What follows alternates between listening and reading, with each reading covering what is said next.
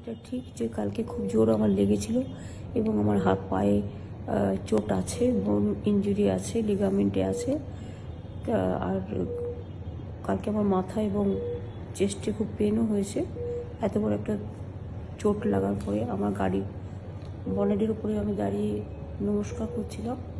Naturally তখন এমন জোরে চাপ আসে যে তাতে আমার পুরো গাড়িটা চেপে যায় আমার পায়ের মধ্যে।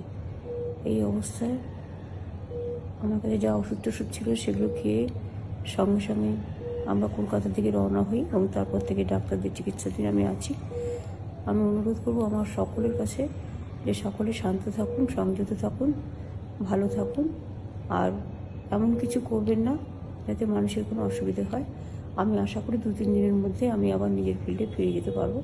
তবে হয়তো পায়ের প্রবলেম থাকবে, কিন্তু আমি ম্যানেজ করে নেব। আমার মিটিং টিটিং আমি কিছুই নষ্ট করব না বাট হয়তো আমাকে কিছুদিন হুইল চেয়ারে করতে হবে, সেটা আপনাদের সহযোগিতা চাইব।